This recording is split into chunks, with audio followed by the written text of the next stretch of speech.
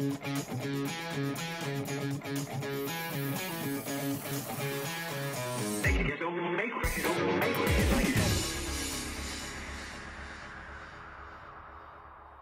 everyone, so part two on our math problems where we need to convert units. So this problem says 3 divided by 10 gallons and 11 quarts.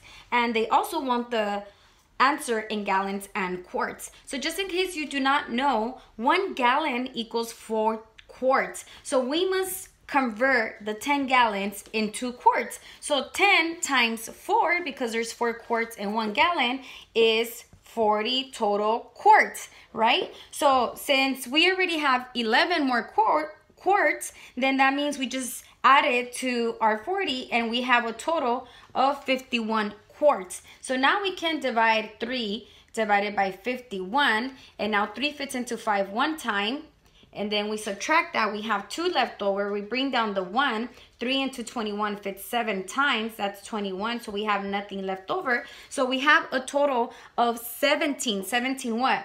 Well 17 quarts. And now if we divide 17 divided by 4 that will tell us how many gallons are in 17 quarts. So 4 divided by 17 that's going to be 4 which is to be 16 here. We have one left over. So that means that our answer is 4 gallons and the one remainder is quarts. So we have 4 gallons and 1 quart.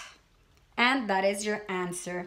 Guys, remember, if I go too fast, if I missed you on something you don't understand, or you have your own specific math problem that you need me to go over, send it to me. Find me on social media or comment it right there on the comments for my YouTube, and I'll get on it as soon as I see it and I get a chance. Your girl Lala saying Arriba la Vida. Subscribe. Bye Ms. Lala, your future math teacher. You need math tutoring services, either for yourself, son, daughter, somebody?